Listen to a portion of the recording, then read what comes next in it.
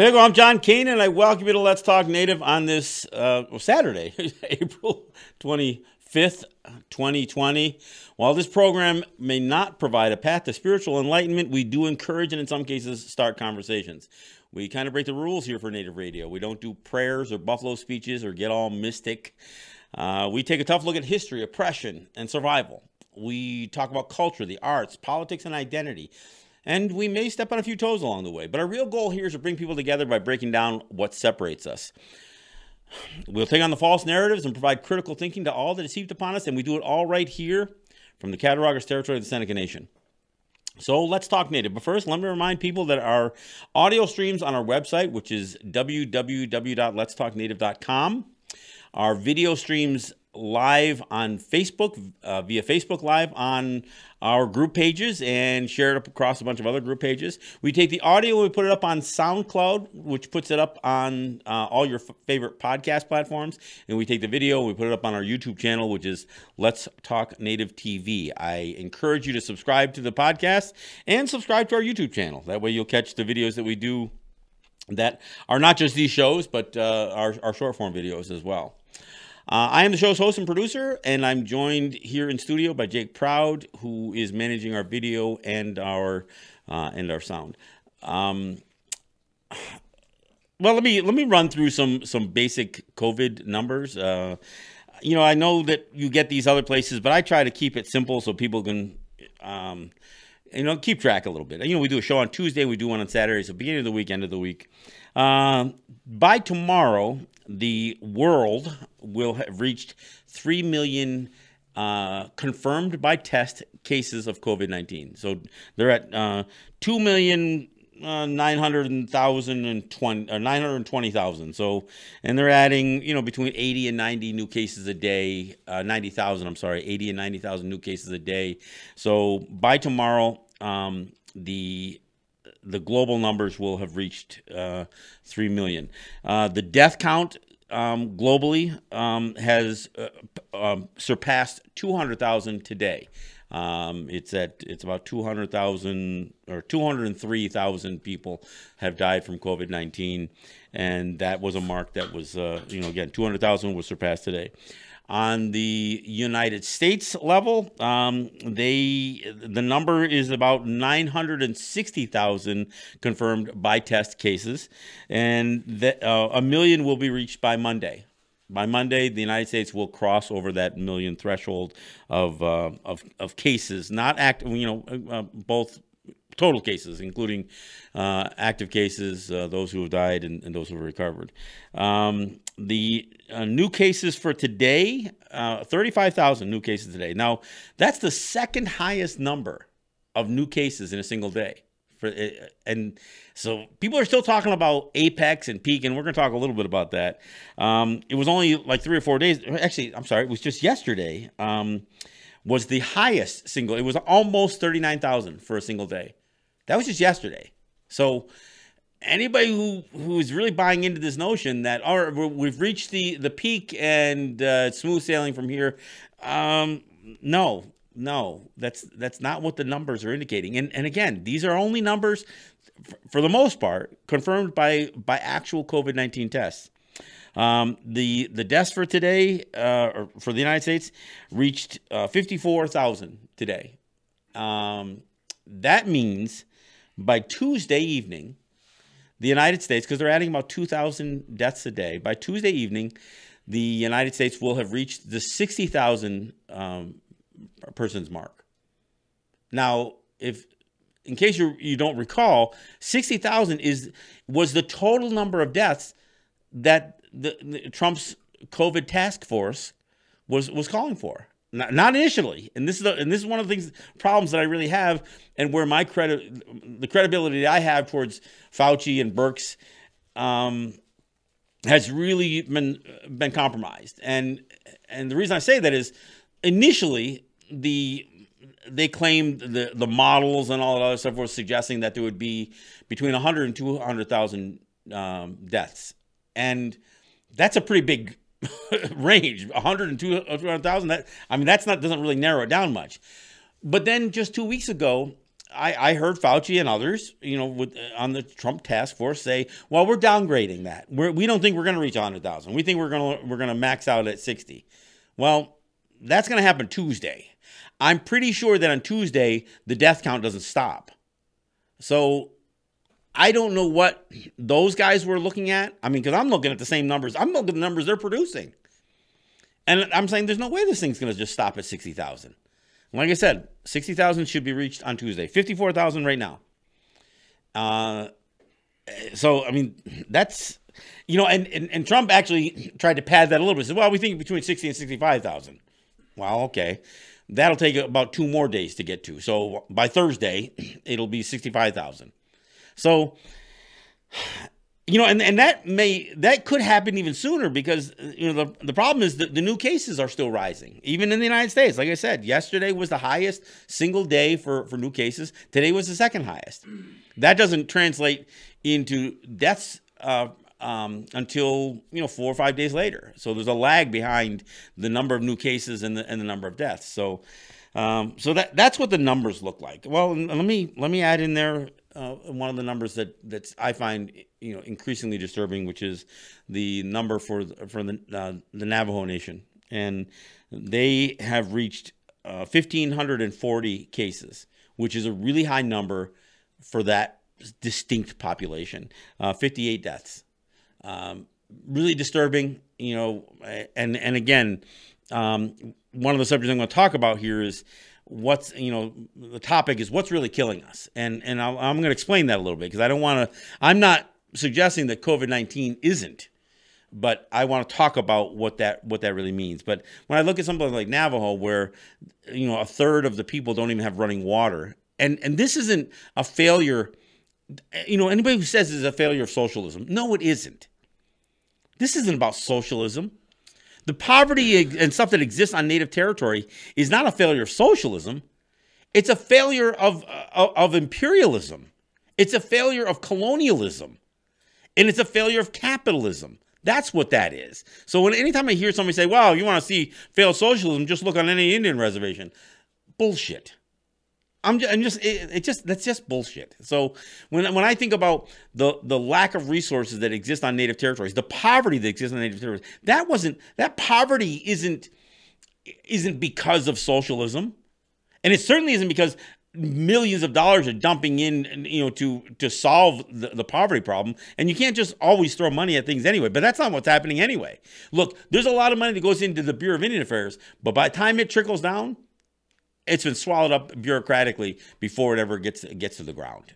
So again, um, I'm really disturbed by what, what happens on native territories.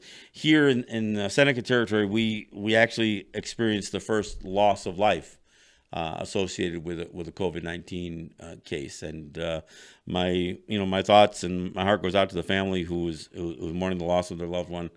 Um, I think there were only three confirmed cases, um, two in Allegany and one in here in Cattaraugus, and uh, uh, you know, and and the other two um, never had severe symptoms, from what I understand. And and I could have some of this wrong. I mean, uh, you, the, the information is somewhat limited, and, and, I'm only sharing to the best of my knowledge what's what's taken place. But I do know that there was uh, one loss, and um, you know, so it does still hit ho- close to home and you know and it's it's in the area it's in the region and it's it's all around us um, so anyway, I want to mention that. Look, I also want before I get into, into, the main thrust of what I'm going to talk about today, I do want to thank again Kat Carnes for joining me on my show that we do here in studio for for my New York show um, on WBAI. Uh, for those of you who missed that, I encourage you to go check out uh, Thursday's show, uh, my Let's Talk show on W uh, for for, uh, for WBAI. Kat Carnes. Um, um, has been married to my friend Ben Carnes, and both Kat and Ben um, I consider friends.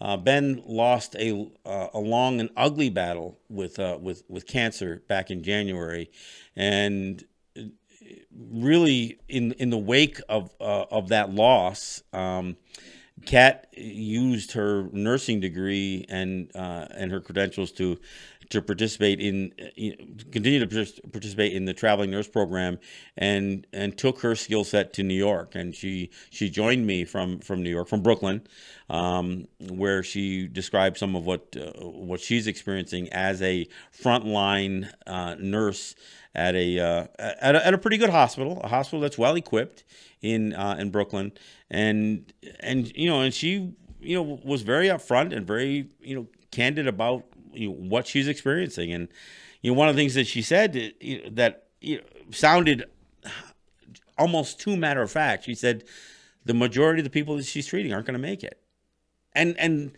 and although you know many of us have a sense for that you know what what's really at play especially in new york is is the people who go into the hospital who require hospitalization are in pretty rough shape i mean you know andrew cuomo and and he's mentioned this multiple times on on his uh his his briefings on on covid his covid briefings that if you get put on a ventilator there's only a 20% chance you're ever coming off of that alive and so 80% of the people who go on a ventilator I mean, these are people who, who have been put under, and that you know they're put under anesthesia.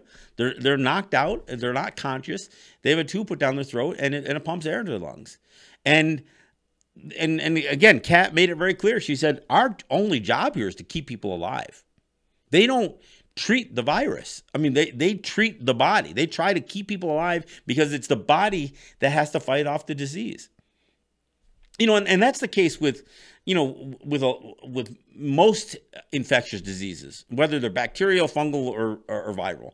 Um, but there isn't a lot of great antiviral medications. There's, there's, you know, look, there's antibiotics and there's antifungal medications that that can help. But most of those, all they can do is is is help the body fight these things off.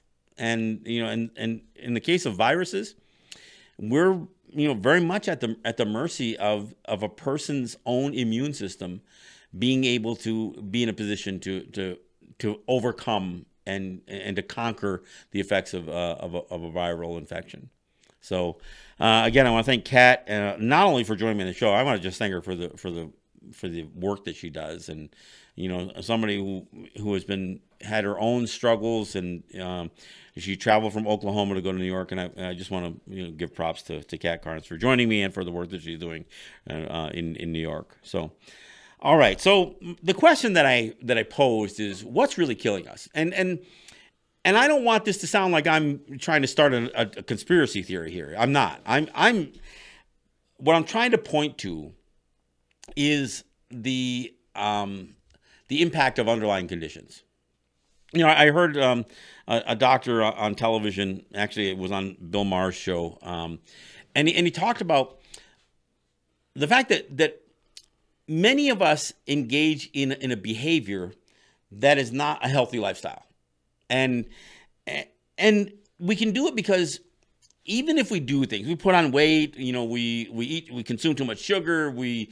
we smoke, we drink, we you know, we we, we do a little this, we do a little that, you know and we we don't necessarily think we're we're you know bulletproof and invisible or you know or you know or t- totally uh, you know invulnerable.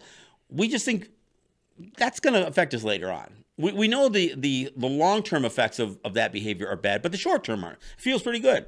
In the short time, you know, look that cake looks great you know that you know I could I could drink a couple more Budweisers. I can, you know, I can smoke uh, smoke a pack a day.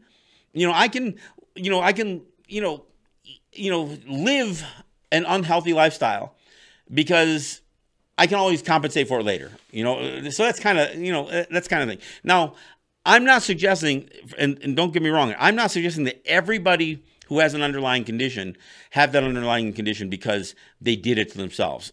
I'm not even going there. I'm not, I'm, that's not what I'm saying. But I'm saying to the extent that we can improve our health, if there's one thing that COVID 19 should be telling us and, and, showing us is the stronger we are going in to, you know, to, to face the things that we face every day.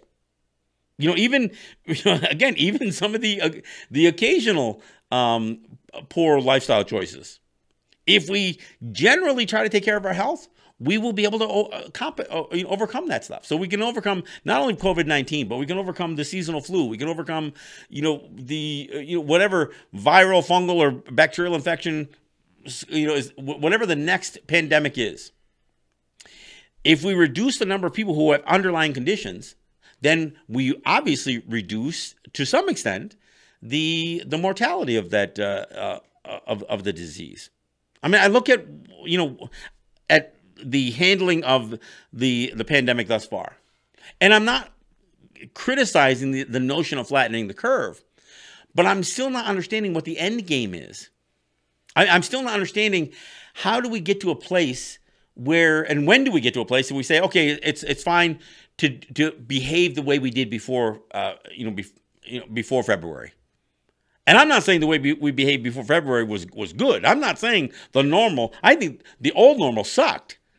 I don't consider this the new normal. But what is going to be the new normal? I mean that that's part of my question.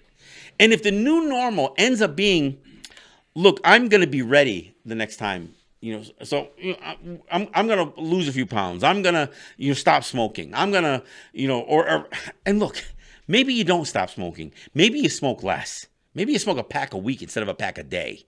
Maybe you have a beer, you know, after dinner. You don't drink a six pack after dinner every single day. I mean, I, I don't know. I mean, I mean, everything is about you know, in moderation, right? I mean, there are things that you can do that are not necessarily good for you. And, and look, I, I know a lot of people who smoke weed, and and they and they get a value out of it. And and look, that's one way that you can you can use uh, marijuana, cannabis, whatever, to uh, therapeutically. And, and some people prefer that method rather than eating gummy bears or whatever, whatever the, the, the, the means of ingestion are. But that's not chain smoking. Yeah, and so you're not necessarily compromising your lungs in the way that a guy uh, I mean I wonder a person who smokes a pack a day what is that equivalent to in terms of breathing you know bad air I, I, I don't know. I mean, I'm, I'm just throwing that out as a question. But you may not be able to control where you live. You know, you may live in a place that is that is a you know a hot spot for for cancer or for you know asthma or be, you know be, and maybe you can't control where you live because of you know your your financial situation. And and it's just not enough to say, well, everybody should just improve their uh, you know their affluence and uh, and and and move to a healthier healthier location. No, that's again part of the the effects of not only capitalism but colonialism, imperialism, holdover from slavery, and all kinds of other oppressive practices that the United States has built its economy on. But to but to the extent that we can control some things, look, I get it. You know ramen noodles costs you know 50 cents or something like that. I mean and you can you, you can solve you know a, a hunger craving with with a pack of ramen noodles. But if if you're eating that every single day not just on the occasion you know what? I feel like having ramen noodles today. But if, if that's what you're living on and if that's what you're feeding your children on and i'm not condemning you because your your your financial situation may be limited but when we want to talk about societal changes See, this isn't just about personal choice. This is about what we're going to do to establish the new normal after this. I mean, I, I think about what we, uh, diabetes and, and how prevalent it is on, on our territories, heart disease. How, I mean, how many people are on dialysis? You know, so, uh, and, and what contributes to the kidney failures? Yeah, I'll tell you, there's a whole bunch of things that contribute to kidney failure, and they aren't just the simple basic uh, lifestyle choices. It isn't just drinking. It isn't just this. It isn't just that. You know, sometimes it's the medications. We have the the, the amount of depression and mental health issues that uh, that our people face. Which again, these are not lifestyle choices that cause these things, but the medications that that people take for uh, for for mental health are oftentimes terrible on your kidneys. So we have kidney high kidney failure. We have heart disease. We have diabetes. We have depression. We have asthma copd um, we we have you know a, a higher incidence of, of cancer. Some somewhat caused by by some may be caused by personal lifestyle things like like smoking and drinking and that kind of thing. But a lot of it is environmental because of the environment that has been imposed upon us because of the environmental degradation. We we do not eat the most nutritious diet, and we're people who who had that right. And but that over time, f- fry bread's not not a traditional food. It, it's become a traditional food. Fry, fry bread is is the result of the United States dumping sacks of crappy flour and uh, and and and lard on us. I mean, we had cornbread, not not fry bread. But this is this is what we now now we take a piece of fry bread and we put a bunch of ground beef on it and and cheese and uh, and and we call it an Indian taco. And I gotta tell you, I love Indian tacos. I'm gonna tell you, but I don't want to live on. I'm not gonna eat that three or four times a week. You know, so there are some lifestyle choices that we have to make. And I think when we when we look at the role that underlying conditions is playing, especially with, with COVID 19. See, uh, here's what COVID 19 is doing it's taking away the luxury of time. It's not, it's, it's, it is making those folks now have to answer for their underlying condition, not sometime down the road, but immediately. So if you get COVID 19 now, while you have a pre-existing condition or an underlying, you know, condition, you are at a much greater risk. A much greater risk. So what could be what could have been done? Uh, look, and I, I'm not suggesting that all of these underlying conditions, and in fact, I'm not even suggesting the majority of these underlying conditions are caused by, by lifestyle choices. Because some of these things we don't have a choice in. Where we live, you know, our, our access to, to good quality food. Sometimes that, that choice has been taken away from us. But my the point that I'm trying to make is how do we how do we avail better choices to ourselves? How do we not only make better lifestyle choices, but how do we make we, we broaden what those choices are? I mean, it's fine to have all kinds of multi-million dollar programs on native territories. And and it's fine to be to be uh, one of the more affluent native territories and the Seneca Nation is one of them. But I know that it's a fight every freaking year to keep their their relatively modest um, agriculture project going. That should be a major emphasis of what the Seneca Nation is doing. I mean, getting more and more people involved, not just in a nation program, but perhaps a you know, the nation provides more to the people. And I, I know there's a lot more effort out there. People are offering to till and, and do some of the things to help, you know, um, do ground prep so people can have gardens of their own. I mean, when I was a kid, all of uh, all of our families had gardens, and and I mentioned this before, and and gardens is just a part of it. I mean, but we we should do more of that. But there's other things that we should do to make sure.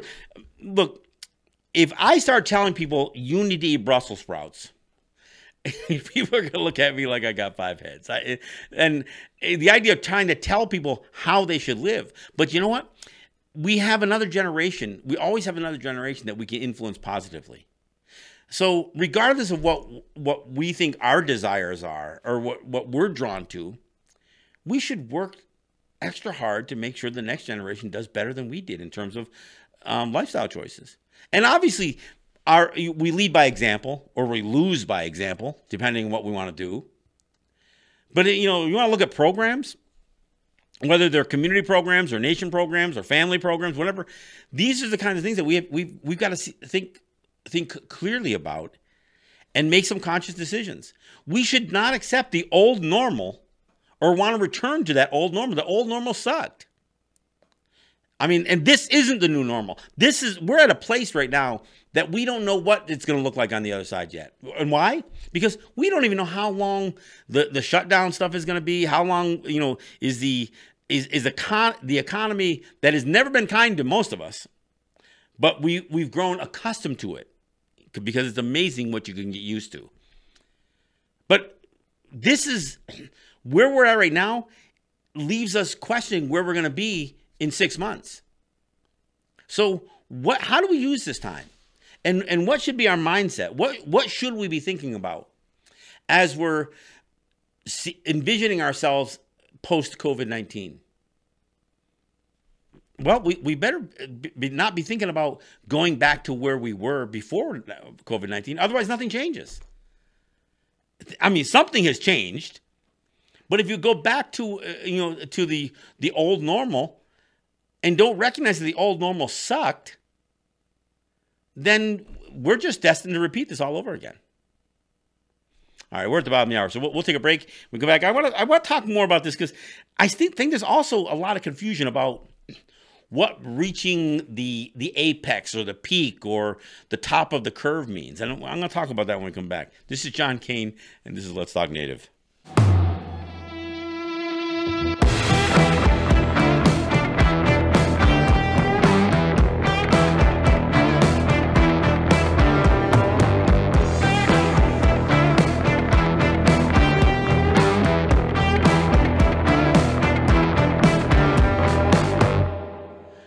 All right, thanks for coming back. This is John Kane. This is Let's Talk Native, and I want to thank our sponsors. I want to thank Ross and Holly John and the RJE family of businesses.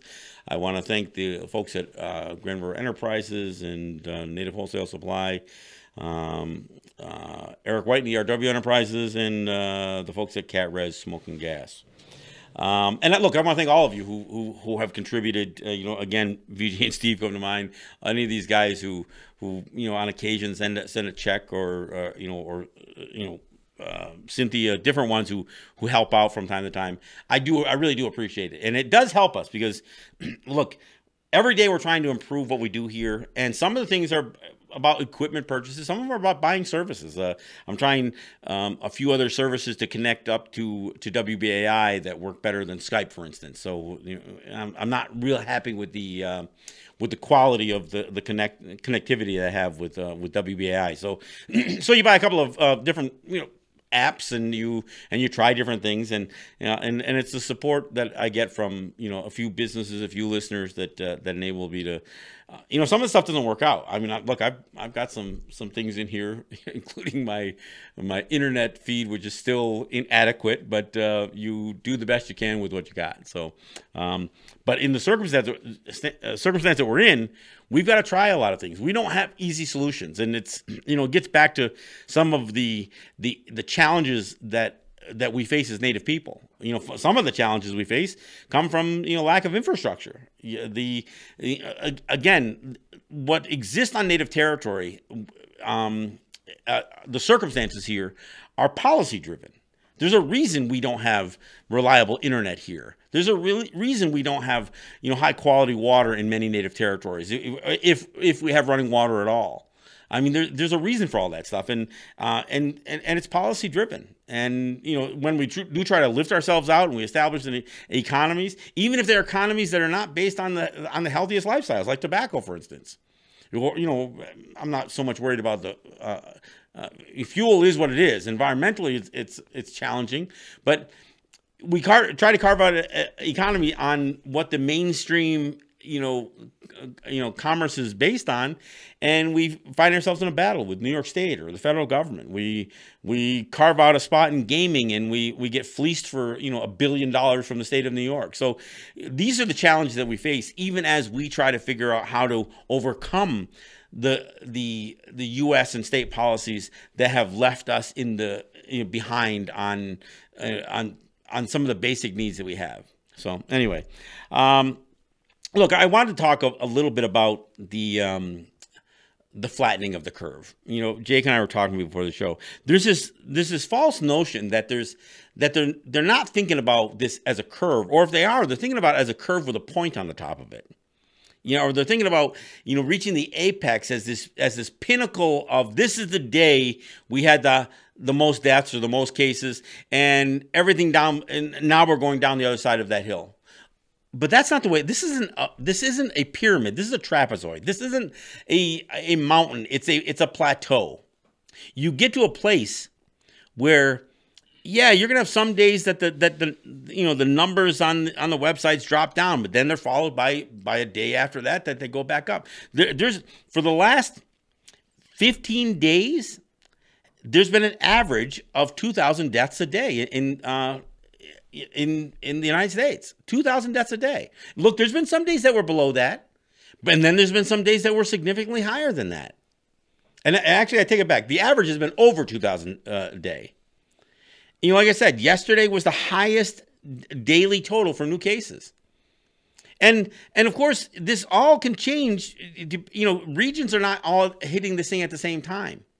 So so when you hear Cuomo talk about an apex, or when you hear people talk about, you know, um, somehow getting on the other side of this thing, or, or, that you know, you know that the the hospital admissions are coming down, or this is coming down, or that's coming down. No, it really isn't. It's leveling off. The I've said this before. The idea of flattening the curve, it, it said flatten. It didn't say just lower the you know the the apex. It, it is lower, but it, it, flattens it, and and it also essentially fattens the curve. So, and what I mean by that is when you look at those curves that they posted up, the the curve that that that um, represents if if we did nothing was a pretty a curve with a pretty high peak, and and, and then it, it, went up and then it came down relatively quickly. It still wasn't a point, by the way, but it uh, but it, it is a curve. Flattening and then it came down and then and in all that area under that curve that's the total number of people who are infected. Because the the um, uh, the y-axis i think is the number of cases and the x-axis is the is the number of days so that area under the curve is the total number of people who are um, who who become infected and the reason for flattening the curve was to keep their uh, the hospitals uh, to try to keep the number of infected people below the capabilities of uh, the hospitals had in treating them. So flattening the curve meant that you slowed the spread. You didn't stop the spread. You slowed the spread so the number of people who were being infected on a daily basis would be low enough that they could still get get medical treatment. So what that means is, yeah, you flattened the you you didn't just wipe out the top of the curve. You flattened it and then you broadened the base. So so the spread was going to go slower. It wasn't going to be less, it was just going to be slower. Again, the number of people underneath the flattened curve uh, is the same number of infected people as the people under the, the unflattened curve. If, if you don't understand what I mean, then you, you just got to look up the curves, look at the curves online, and you can see. Maybe I get Jake to post the uh, a, a picture, and we still we still got a picture of the curve. You can throw it up there so people can see it behind me, and and maybe, then maybe you'll, you'll have again a better understanding of, of what I'm talking about. But the flattening of the curve means that you don't reach an apex and then immediately drop back down. It means that you stay at that level. So, it, you know, I, I liken this to a flood. Look, when the when the floods come, you know, again, we got the curve here. So if you notice uh, the the blue curve, it doesn't come down immediately. It stays at a, you know, it stays at a at its higher its higher point is lower than than the red curve. Okay, but but it stays at a higher point for a longer time, and then it extends the number of days that, that infections are spreading. The areas underneath those two curves are the same. The whole idea was to stay below the, the dotted line that, i that i that's on the curve, which is hospital capability. So I, I just I just want people to, to kind of understand that. But if you think that you, you you're you've dropped down below that curve immediately, that's simply not the case.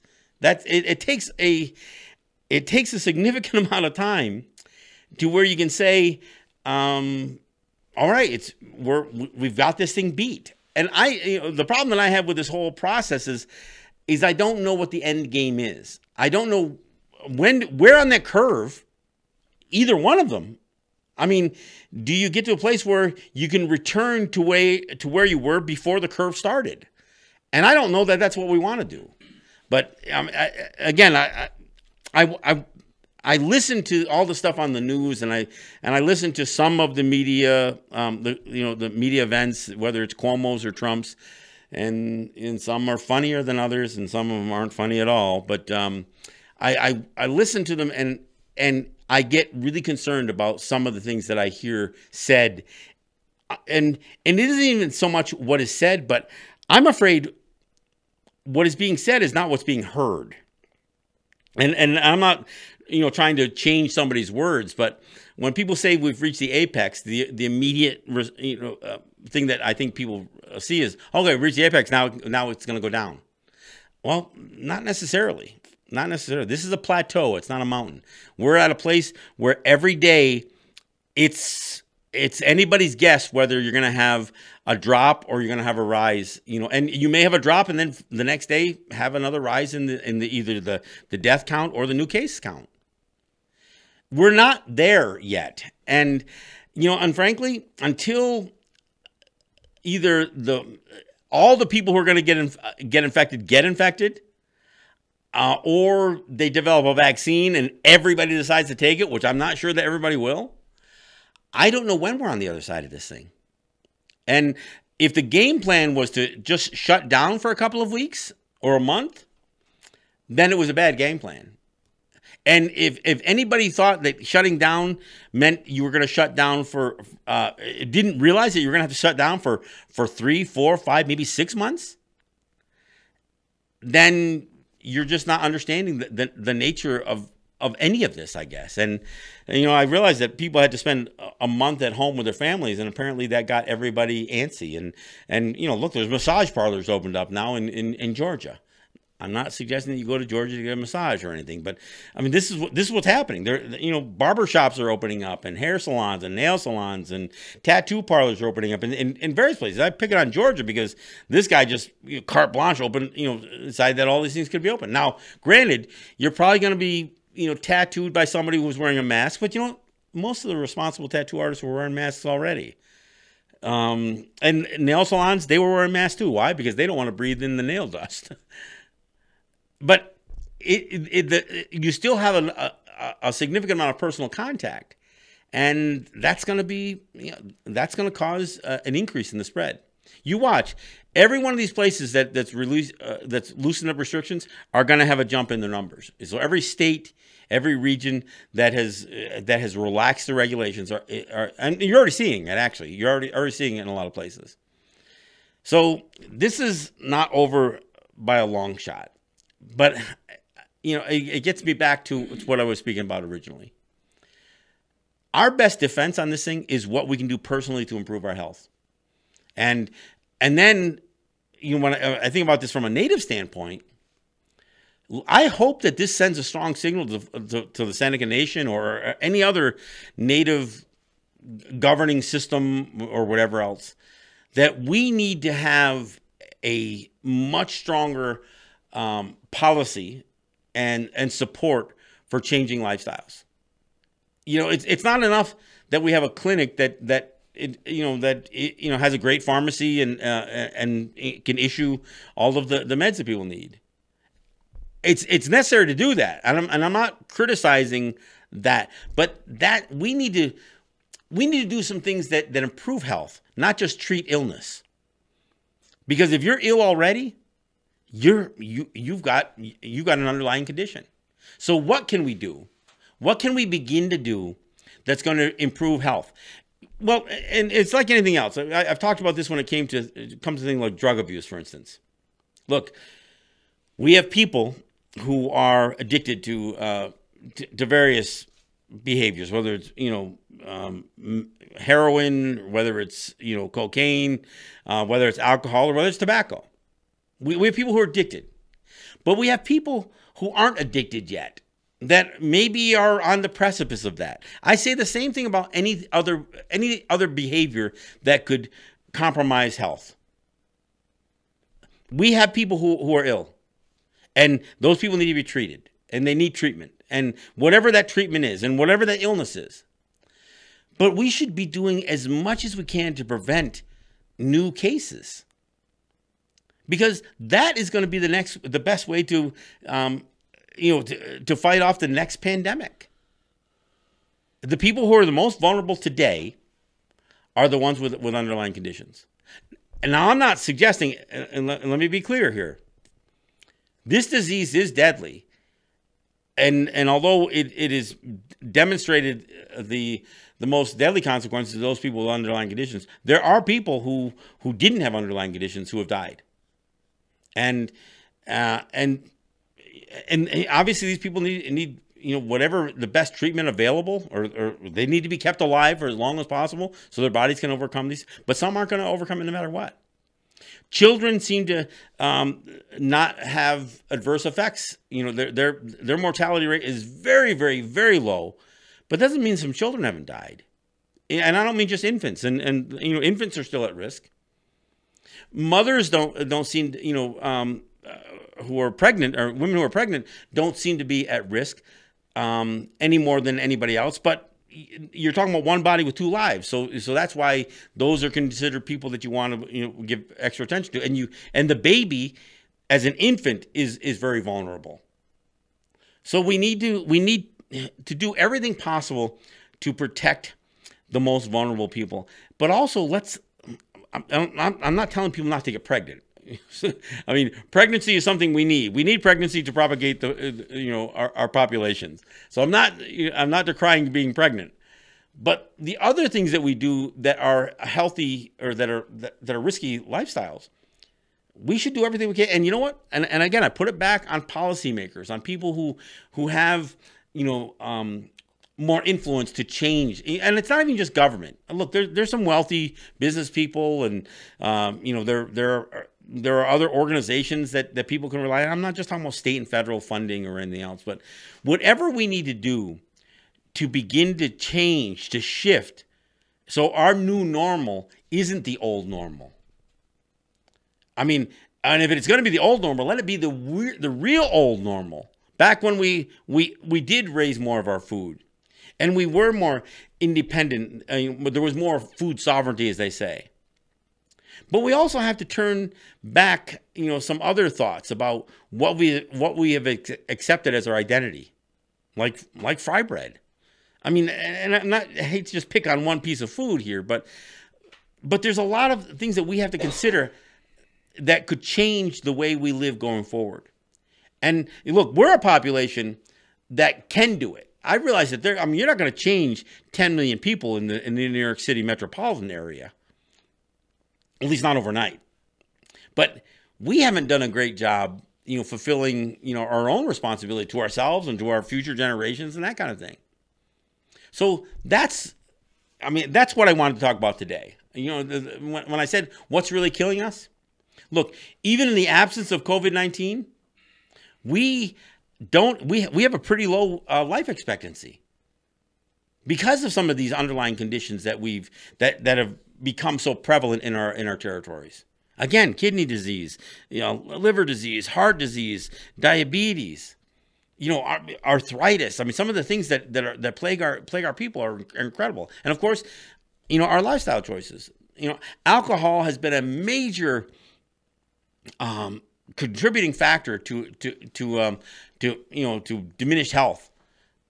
Um, you know, and, and alcohol is probably worse than tobacco. And and we, and we know tobacco is not good for you. So we need to do more. We need to do all that we can do to you know to not only change our the lifestyles of those of us who are are living it now, but try to keep the next generation, those those kids from from who are who are on that who are on that precipice of making you know bad lifestyle choices. I mean, it's easy to say let, us stop those you know, youngsters be, uh, uh, uh, from being, you know, drug abusers, but I know too many parents who are who literally say they can't wait to drink drink with their kids, you know, or smoke you know smoke weed with their kids. You know, look, I I think there there are some things that we do in moderation, including drinking and smoking, you know, and, and smoking whatever that I think in moderation probably have, you know, some benefit to it. But but again, there's a there's a question of moderation. And I'm not encouraging people to drink with their kids or smoke smoke up with their kids. I'm not. I think if you're you're in a situation where you have to make some choices about what you're going to use to treat, you know, whether it's a mental health issue or, you know, or anything else, then in a perfect world, you wouldn't need anything, right? But that's not the world that we live in. And that's not the world that that was created, you know, by imperialism and colonialism. It, that was the world that we live in right now is still reeling from the effects of genocide. So I think we have to do everything we can to no longer be the victims.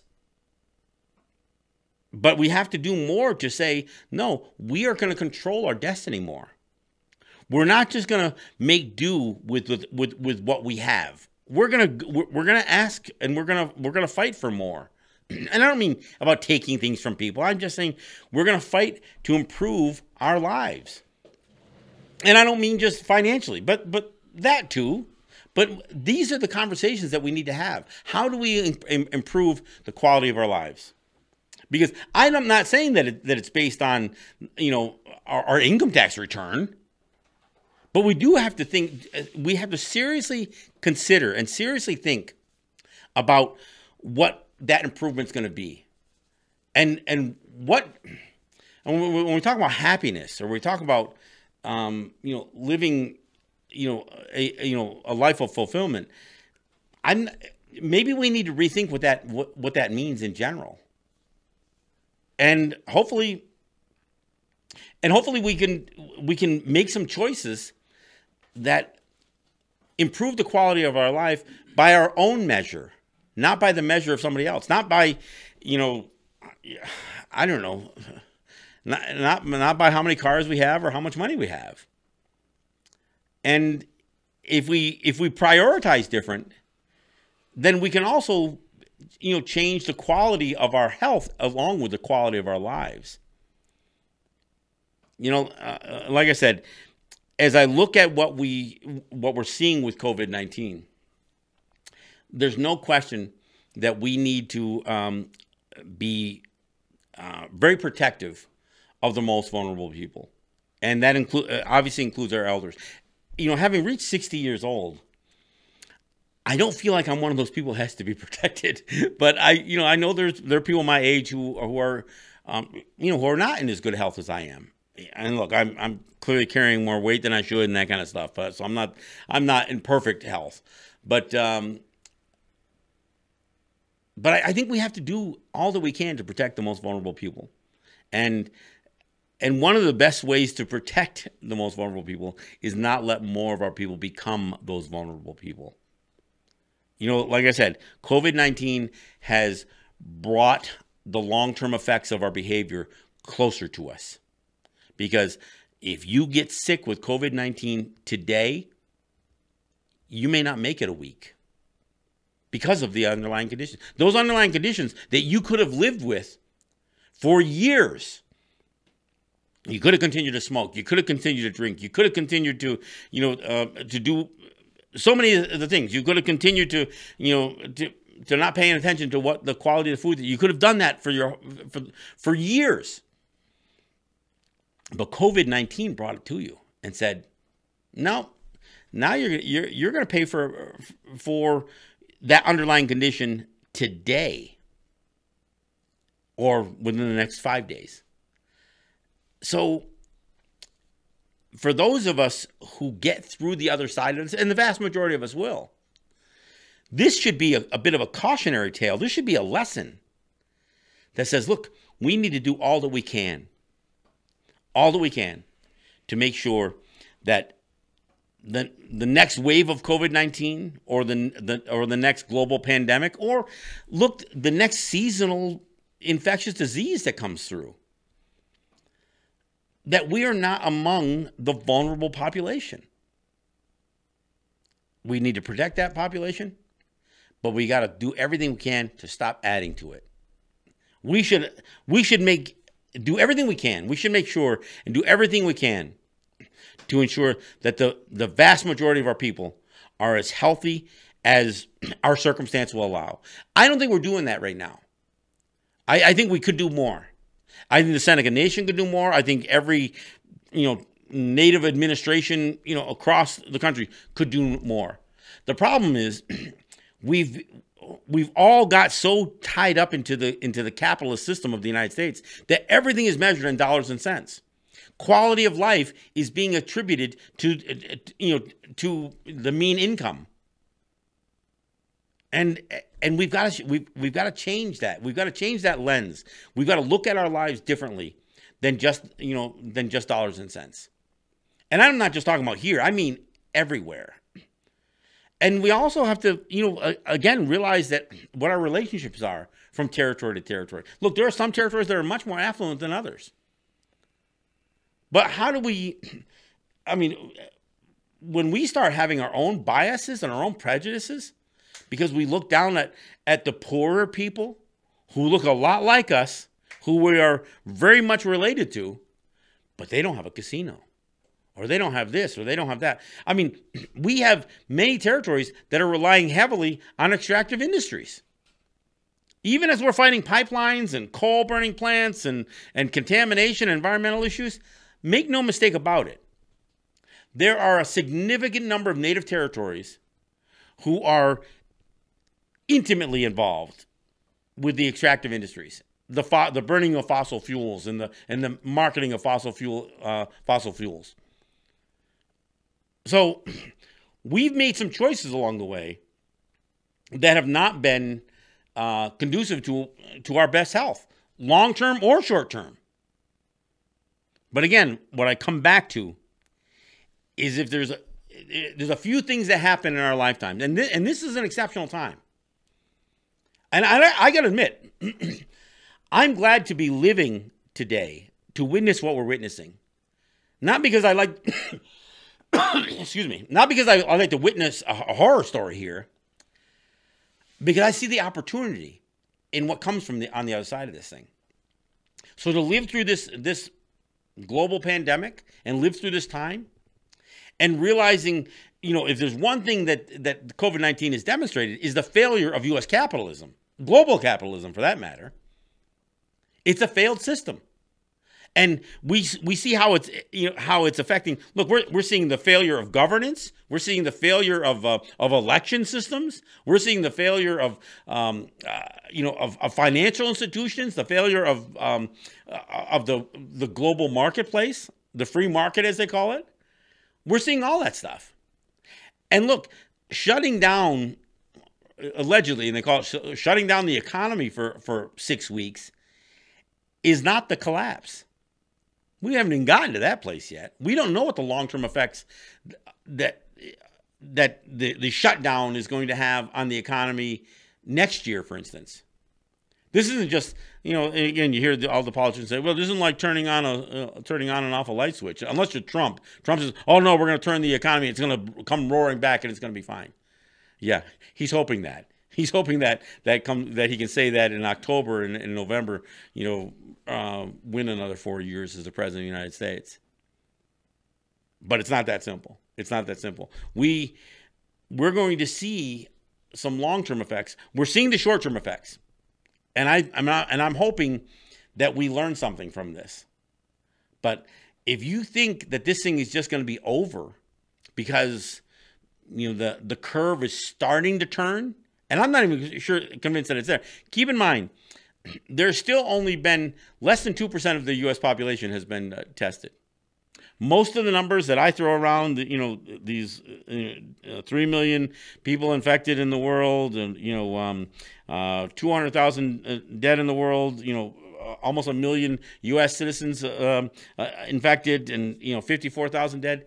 Those numbers are still by and large being based on people who, who've been tested, which is only less than 2% of the US population.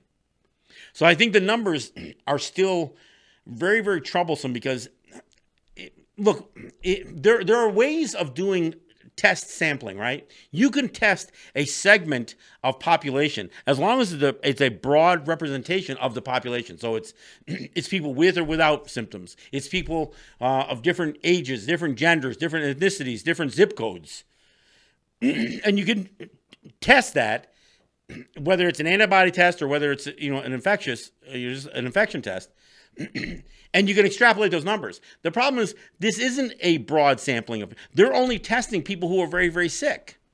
People who are going to hospitals because they need hospitalization. Well that's not a broad sampling. I mean it, it also doesn't it, i mean look not everybody goes to the hospital when they're sick.